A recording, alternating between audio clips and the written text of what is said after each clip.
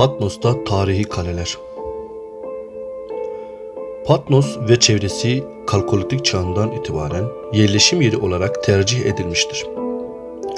Bölgede geçmişten günümüze kadar önemli yüzey araştırmaları ve bilimsel kazı çalışmaları gerçekleştirilmiş olmasına rağmen bu çalışmalar uzun soluklu olmadığı için bölge tarihinin aydınlatmasında yetersiz kalmıştır. Bu açıklığı gidermek maksadıyla bölgede Kültür ve Turizm Bakanlığı'nın da izniyle 2019 yılında yapılan araştırmalar sonucu ortaya çıkmıştır. Patmos'ta tarihi kalelerle ilgili 19 sit ve bir anıt alanında incelemelerde bulunmuştur. Yapılan bu araştırma neticesinde merkezlerin geç kalkolitik çağdan itibaren yerleşim gördüğü tespit edilmiştir. Ayrıca bu merkezlerde bulunan keramik verileri bölgenin ilk Tunç çağında yoğun bir yerleşime sahne olduğunu göstermektedir. Yine bölge Urartu Krallığı döneminde de yoğun bir yerleşim görmüştür. Hem yüzey araştırmalarında tespit edilen keramik verileri hem arkeolojik merkezlerinin mimari yapıları hem de bölgede geçmişten günümüze kadar tespit edilen Urartu yazıtları bu durumu kanıtlar niteliktedir. Bölge Urartu Krallığı tarafından oldukça önemsenmiş ve krallığın kuruluş yıllarından itibaren bölgede imar faaliyetleri yürütülmüştür. 1957 yılında tespit edilen 1961 ve 1963 yılları arasında bilimsel kazı çalışmaları yürütülen ve 2019 yılında yapılan çalışmalar sonucu Urartu Krallığı'nın bölgedeki en önemli kalelerinden biri konumundadır. Kalede bulunan Urartu yazıtları da bölgenin eski çağ tarihine ışık tutması bakımından oldukça önemlidir. Merkezlerde çok sayıda kaçak kazık yapılması neticesinde yoğun tahribat oluştuğu görülmüştür.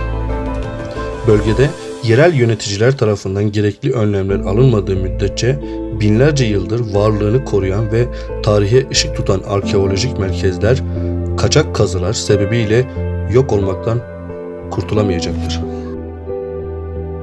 Aznavur Kalesi Ağrıili Patmos ilçesinde yer alan kale 1848 metre yüksekliktedir. Kale günümüzde askeri saha içerisinde bulunmaktadır. Kalenin zeminden yüksekliği 208 metredir. Kalenin giriş kapısı dalgalı olup ilk açıklık 4.40 metre iken ikinci dalga ise 3.60 metredir. Kalenin en üst zirvesindeki stadel ise kare planda olup 12 metredir. Stadel'in girişi ise güneydoğuda yer almaktadır. Kalede 1957 yılında yapılan araştırmalarda 1963 yılları arasında Balkan tarafından bilimsel kazı çalışmaları yürütülen kalenin satında tespit edilmiş olan kitabede Kral Argişti'nin milattan önce 786 ve 764 yılları arasında burada bir zahire deposu inşa ettirdiğinden bahsedilmektedir. Taş bir blok üzerinde bulunan kitabede şu ifadeler yer almaktadır. Tanrı, Haldi'nin kudretiyle Miniva oğlu Argişti bu tahıl deposunu yaptırdı. Oğlu Sarduri 3. Milattan önce 645 ve 635 yılları döneminde de kalede inşa faaliyetleri devam etmiştir. Yine bu faaliyetler hakkındaki bilgileri de kalede tespit edilen yazıtlardan bilgi edinmekteyiz. Aznavur Tepe Kalede tespit edilen Haldi Tapınağı'nın büyük bir kısmı 1961 ve 63 yılları arasında açılmıştır. Bu alanda bulunan kitabeye göre binanın Kral Menua tarafından inşa ettirildiği anlaşılmaktadır. Kuzeybatı, güneydoğu yönünde inşa edilen binanın giriş kısmı güneydoğuya bakmaktadır. Tapınak odasının içi, önü, yanları ve arkası oda tabanından 3-8 metre arasında yükselen ince dolgu toprağı ile doldurulmuştur. Binanın günümüze kadar iyi bir şekilde korunarak gelmesinde de dolgunun etkili olduğu ifade etmek mümkündür.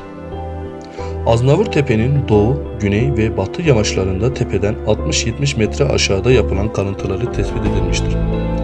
Kalenin batı yamacında 5 metre kalınlığa sahip Urartu taş işçiliği özellikleri taşıyan sur, duvar kalıntısı tespit edilmiştir. Yer yer 4 metreden daha yüksek olan duvarın 60 metreden fazla kısmı açılmıştır. Surun doğuya bakan kısmında doğal kayaya dayanmakta olan büyük bir kapı bulunmaktadır. Kalede çok sayıda Urartu çivi yazılı kitabı ele geçirilmiştir. Bu durum kalenin Urartu döneminde büyük bir öneme sahip olduğunu göstermektedir.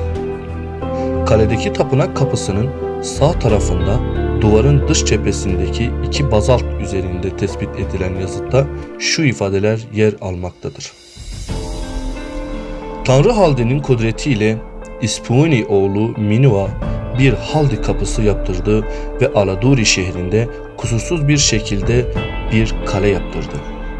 Tanrı Haldi'nin kudretiyle İspuni oğlu Minua Tanrı Haldi'nin buyruğu üzerinde babasının tahtına oturduğu zaman Satiru ülkesi ayaklandı.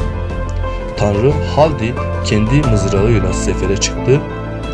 Huradinaku şehrini ele aldı.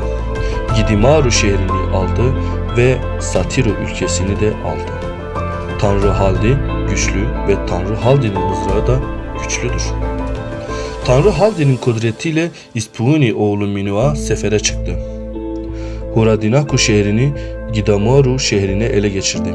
Satiru ülkesini ve Tarzanana şehrini ele aldı. Bustu ülkesini ve Malmali ülkesini de doğru ilerledi. Daha önce hiçbir kral Huradinaku şehrini ele geçirmemişti. Hiç kimse onu yağma edememişti. Tanrı Haldi onu İspuni oğlu Minua'ya verdi. O Huradinaku şehrini ele geçirdi ve yerle bir etti. Aynı yıl Alzi ülkesinde ayaklanma oldu.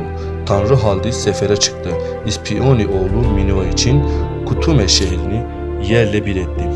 Alzi ülkesini ele geçirdi ve Sasnu ülkesini ele geçirdi. Kutume şehrini de bir kale yaptırdı. Tanrı Haldi